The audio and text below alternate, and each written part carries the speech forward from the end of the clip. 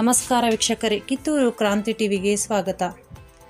ಉಡಕೇರಿ ಗ್ರಾಮದ ಶ್ರೀಧರ್ ಲೋಕೂರ್ ವಕೀಲರು ಇವರ ಹೊಲದಲ್ಲಿ ಅಗ್ನಿ ದುರಂತ ಸಂಭವಿಸಿ ಅಪಾರ ಹಾನಿ ಉಂಟಾಗಿದೆ ಹೊಲದಲ್ಲಿದ್ದಂತಹ ಬಣವೆ ಸಂಪೂರ್ಣವಾಗಿ ಸುಟ್ಟು ಭಸ್ಮವಾಗಿದೆ. ಅದರ ಜೊತೆಗೆ ಹೊಲದಲ್ಲಿದ್ದ ಸುಮಾರು ಅರವತ್ತು ಪಿ ವಿ ಸಿ ಪ್ಲಾಸ್ಟಿಕ್ ಪೈಪ್ಗಳು, ಕೃಷಿ ಸಲಕರಣೆಗಳು ಸುಟ್ಟು ಕರಕಲಾಗಿವೆ.